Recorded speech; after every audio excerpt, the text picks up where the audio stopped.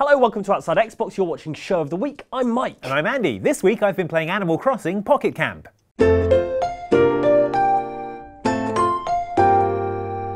Oh, it's cute. And now I owe Tom Nook £36,000. So, there's going to be a few changes around here. Uh, no Christmas presents because I spent all my money. Right. Uh, also, I mortgaged the YouTube channel to Tom Nook. What? Uh, but don't worry, he says you'll barely notice the difference.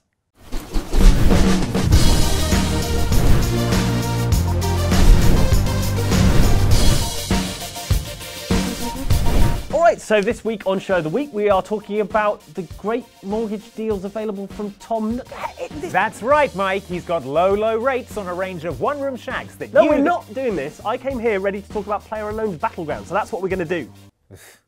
Fine. All right, then, talk about PUBG. Yes, we will, You're Andy. going to get killed by a raccoon. It'll be your fault. it's coming out on December 12th. We've only got a limited amount of time to talk about PUBG. All right, well, you know all about PUBG. I've I not do. played it because I haven't had anything I can play it on yet. Wow, very gonna- soon that's going to change, Andy. Yeah. So, shall I tell you about the reasons I'm excited about PUBG on Xbox One? Yeah, can you list? Can you do seven of them? Can No. you do seven I could do one. numerical list? You do one. Is Yeah. there only one reason? one reason. Oh, man, It's. PUBG on Xbox One. Yeah.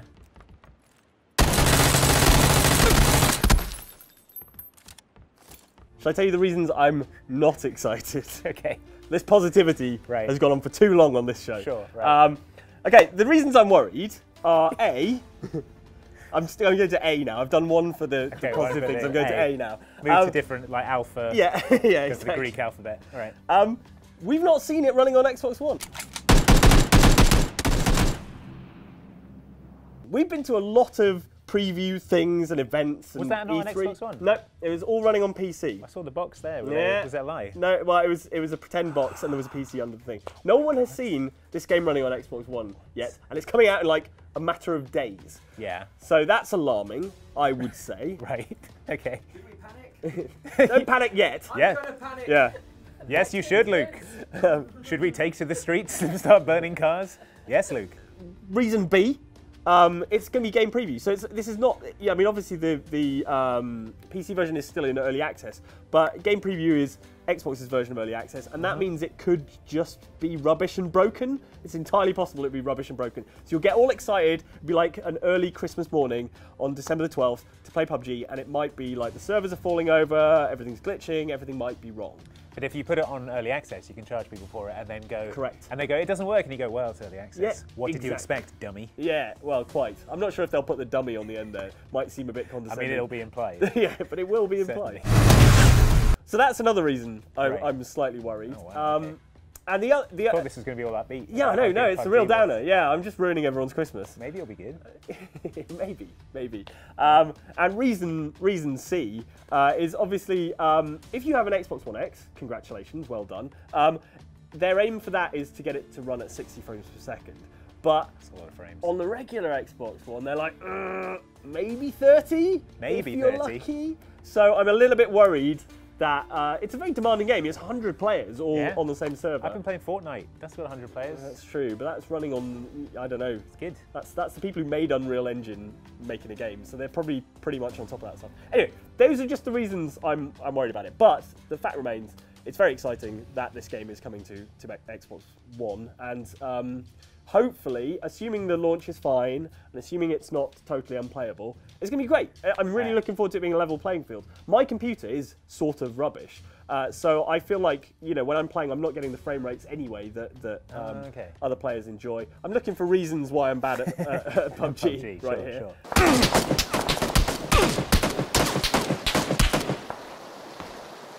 sure. Um, at least on the Xbox, it'll be a mostly level playing field, and if you own an Xbox One X, you'll be have a slight advantage, which I'm fine. I'm okay with. All right. So for people who haven't seen PUBG, Player Unknown's Battlegrounds, Yes. before, they don't know what we're talking about. Actually, James really likes Player Unknown Battlegrounds. James, uh, sum up why PUBG is good. Uh, do my job for Do me. my job for me, James. Because the game's over relatively quickly. I love that. the winner. Yeah. like there One is winner. one winner, and that's Proper it. meritocracy. None of this medals for participation, hey James. Yeah.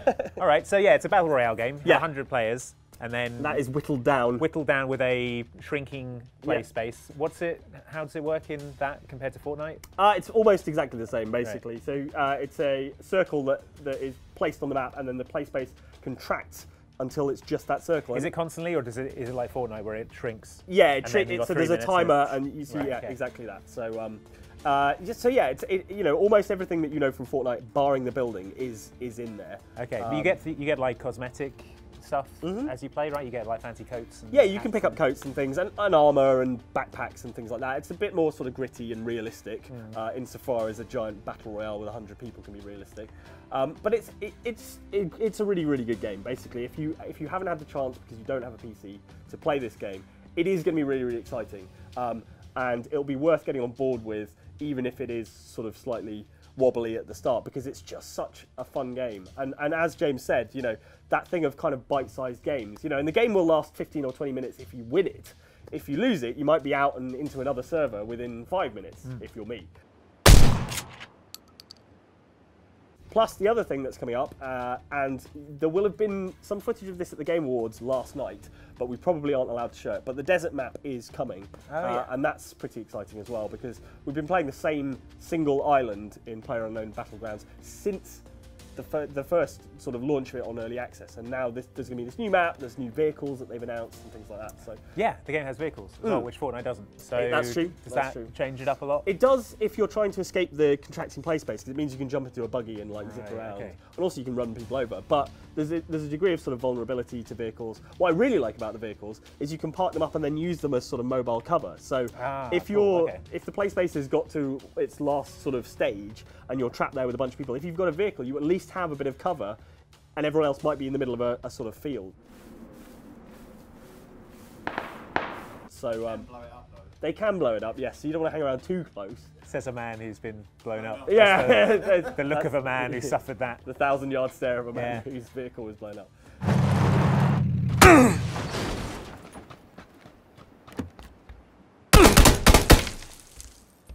it is enormously exciting that it's coming on, on console. I'm I'm very excited, but I, I'm also slightly wary of this launch period. I think that's the key thing. I, I reckon within a month's time, everything will be running fairly swimmingly. Yeah. So buyer beware, Mm, because it might be rubbish when it launches. yes. But maybe you know, maybe it won't. Maybe, Maybe it'll it do will. well. No, I, But, you know, I'm, I'm, I'm only basing it on the fact that we haven't seen it running on an Xbox yet, and it is, it is out in a few days.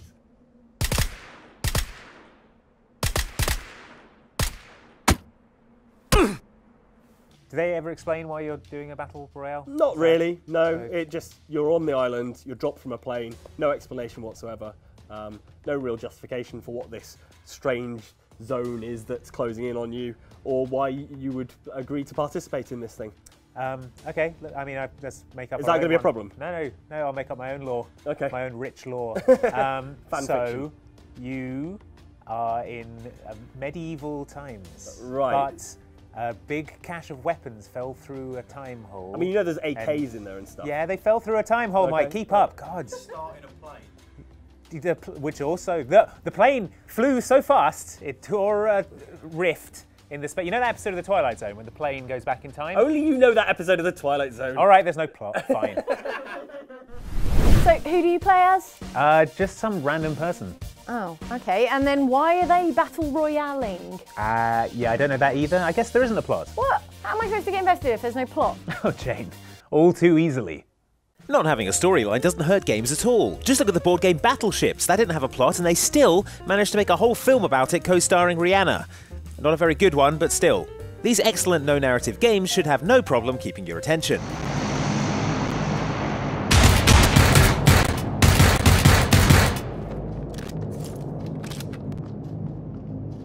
Game that turned multiplayer battles royale into a phenomenon, PlayerUnknown's Battlegrounds recently set the record for the most number of concurrent players on Steam, 1.5 million.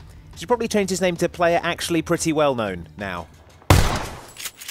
The game doesn't bother explaining the story, the setting, or even the rules of a battle royale, it just kicks you out of the back of a transport plane and leaves you to work out how to survive yourself.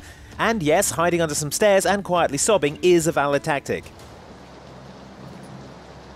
But if you really must have a storyline for your headcanon, just imagine the one from that movie. What was it called again? Oh yeah, Battle Royale.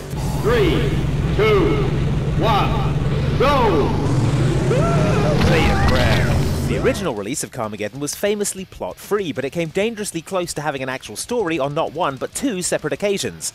Originally, it was planned to be a Mad Max game, and when that deal fell through, it very nearly became a sequel to 70s movie Death Race 2000. In the end, the developers called it Carmageddon and provided absolutely zero justification for why a bunch of sci fi wacky races rejects were slamming into each other and wiping out the population of a small country in messy hit and run incidents. There was even a bonus for hitting the poor guy employed to wave the starting flag. Probably for the best there's no plot. If I knew about that guy's life and family, I'd go to pieces. Not as many pieces as him, but still.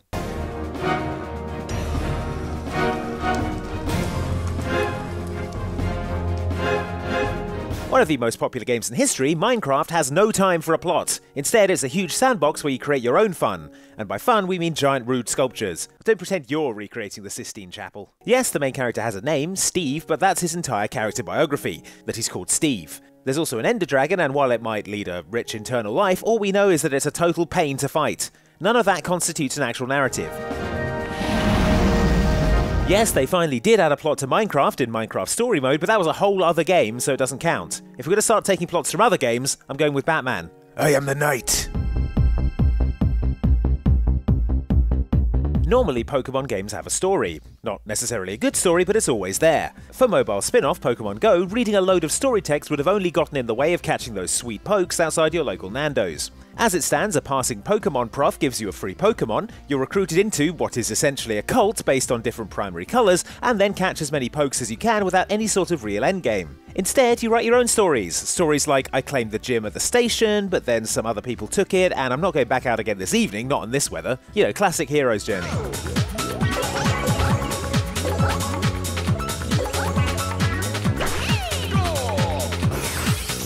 At first glance, Super Monkey Ball looks like a harrowing tale of animal abuse, with a poor defenseless primate trapped in a Perspex ball and forced to undergo increasingly complex animal testing. There's probably a secret level where you spray perfume in its eyes and force feed it lipstick.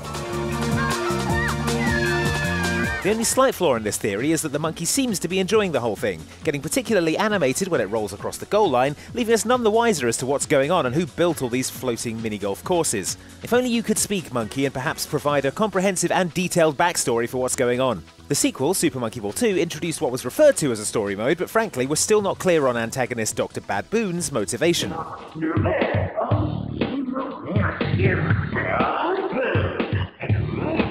If you can afford a giant airship slash vacuum cleaner, Dr. Bad Boon, you can afford to buy your own bananas from the supermarket. What exactly was your doctorate in again? Now it's time to see what's written in the YouTube comments and in the menacing looking final demand letters to Andy from Tom Nook. No, not them, just the comments.